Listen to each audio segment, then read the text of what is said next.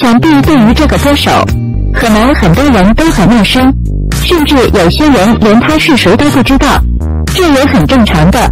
他的发展算得上是一个典型的高开低走。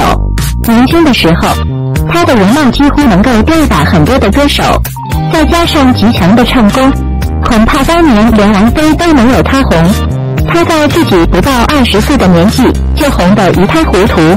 其实大家可能不知道，他早年的时候还干过服装设计师。后来因为参加一个日本的歌唱比赛，并且获得了冠军，从而被当时的香港唱片公司发掘。到了八十九年的三月份，他推出了自己的首张个人音乐专辑《灯面》，没想到这个专辑一经上线便受到热捧。他也因此获得了劲歌金曲的最受欢迎新人奖。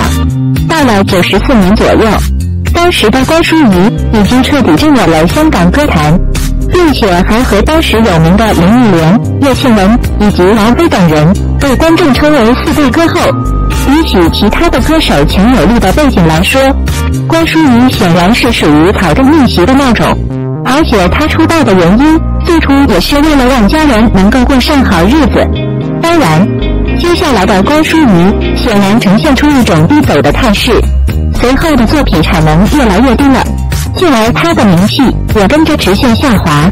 当然，这还不是最影响她的，最让人觉得不可思议的是她未婚先孕的事情。在零二年，她未婚先孕产下了一个孩子，可孩子的爸爸是谁？关淑怡一直没有说。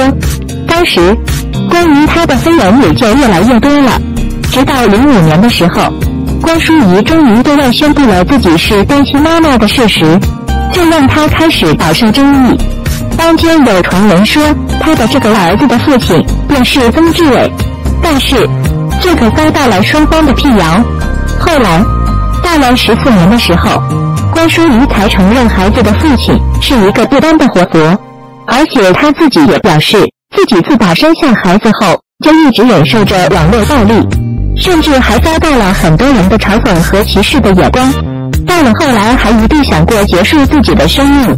如今五十二岁的关淑仪，一直因为这件事情不能释怀。